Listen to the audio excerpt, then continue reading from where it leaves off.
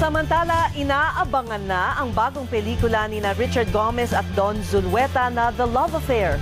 Bukod sa mga quotable quotes, may intimate scenes din daw ang dalawa. Okay naman kaya ito sa asawa ni Richard?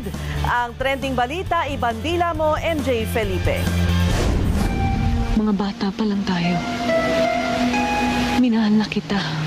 Mula sa Hihintayin Kita sa Langit noong 1991 Siya, hindi ko na kaya. hanggang sa kanilang latest movie na The Love Affair, lahat ng Richard Gomez at Don Zulueta projects hindi pinapalampas ng asawa ni Richard na si Lucy Torres Gomez. Para kay Lucy, walang kapantayang chemistry ng Chardon Love Team. Pagmamahal. I think their best projects are always the the ones that fall on the romantic side, the sweeping love stories. They're very good at that.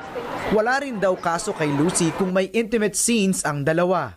I say nga na siguro if I met Richard na iba yung trabaho niya, and if I wasn't a fan, I probably wouldn't understand it. But I'm really a, I'm really a movie fan. And parang how strange naman a love story without any, any, any scenes like that. I think that that's what makes uh, my life easy and happy is because I have a very supportive wife who understands the, what I do, who loves the films that I make. We're very lucky with our spouses kasi napaka-supportive nila.